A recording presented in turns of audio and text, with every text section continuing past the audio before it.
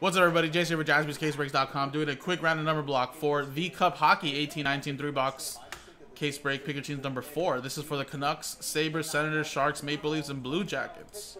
So again, works like any other random number block on our website, exact same way, but just for these teams in this specific break.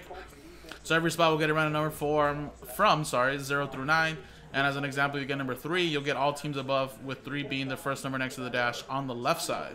So for example, you'll get 243 at 299, 13 out of 99, 3 out of 25, 43 out of 99, 93 out of 99, etc. Number 3 slot will get that. And all redemption cards will go to spot 0. Even if it's a no 101, it'll still go to spot 0.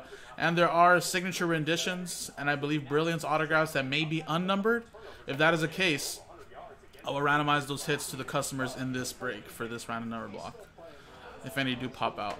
And here you go, dice roller, list of customers from Wade down to Lucas, last spot Mojo.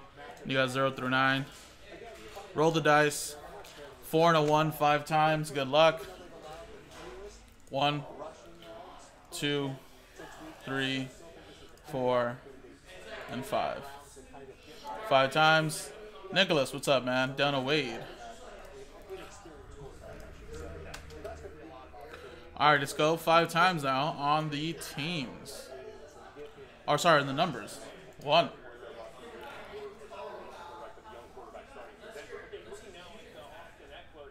Two, three, four, and five. Five times. Four down to five. All right, here you go.